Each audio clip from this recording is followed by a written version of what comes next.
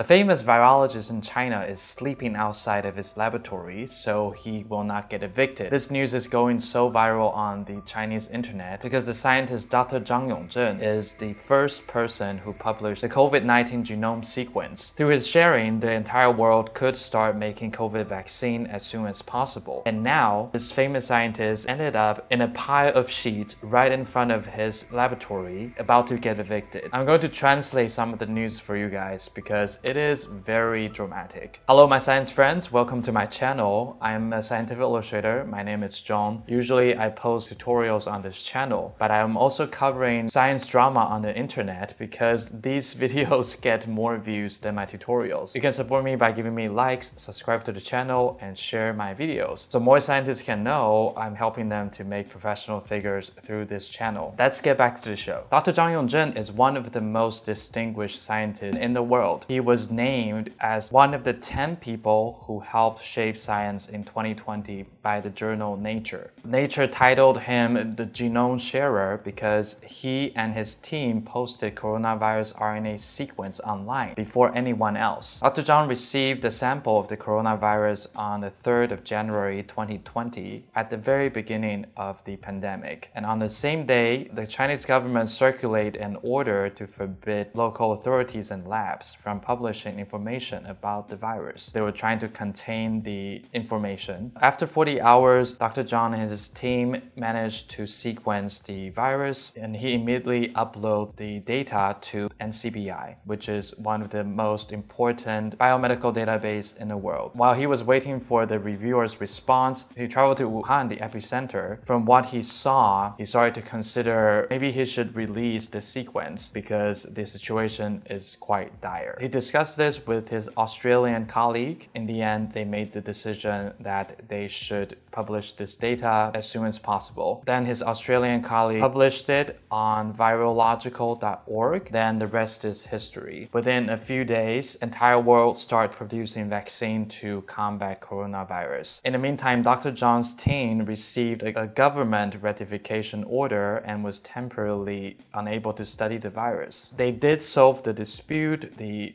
visiting official correctly told his lab to update his biosafety protocol after he had moved the equipment during construction work. He already had some conflicts with the authority back in 2020, and the same problem seems to transpire bigger to 2024 as of last week. Dr. Zhang made a post on his Weibo, which is the Chinese Twitter, on the 30th of April of a photo of him in a pile of sheets laying on his back right in front of the entrance of his lab. There are four security guards surrounding him, which is not for his security, but for the security of the department. The caption of the post is another abnormal night. Thank God there is no rain as last evening. I'm very grateful for my students for their companionship and of course there are more securities. This is from a different angle. This is one of the students who is there to guard their professor. It is quite touching that his students are on his side. This shows that he's a good boss. Five hours after this, he tweeted, another cold night have passed, staying on the ground in front of the door until dawn. It's quite poetic. This is a real pro-text from the professor. And then he tweeted some morning photos. Good morning, everybody. Many thanks for my students taking turns to guard me throughout the night. There were many security guards speaking loudly and watching videos. That is very disturbing. Even hashtag another brand new day has begun. he knows how to make a show. He knows how to advocate for himself. This is a close-up of the view. They took a few more photos from the distance to show us that there are even more security guards. I find it really adorable. They use a cat face to censor the license plates. Almost 10 security guards just to keep an eye on the professor. This is really intense and he's gathering a lot of attention from the public. Here's a statement from Professor Zhang. So these are addressed to Secretary Fan. Secretary is a title of the Communist Party. So this is not a secretary to the CEO, but an actual leader of the research center. Professor Zhang has four questions Quote, even though my contract with the public health center has ended in 2023, but one of my staff have renewed the contract with the center in order to continue our research project since 2021. And this research project is still in progress. If this is the case, why do you claim that we are occupying the space a deal onto the department? Question two. The department has made a statement in, on the 29th morning have arranged another laboratory for Dr. Zhang's team. This contradicts with Secretary's claim if you are going to evict us, why are you providing us a new location? According to the contract I signed in 2018, the team has outperformed in the five year period, but we have not received the research budget of 3.5 million yen for two consecutive years. We also have not received the award from our outstanding papers. how are we going to settle these payments? Question four is my file at the Public Health Center or at the CDC? My team have sufficient evidence. We highly recommend Secretary Fan do not start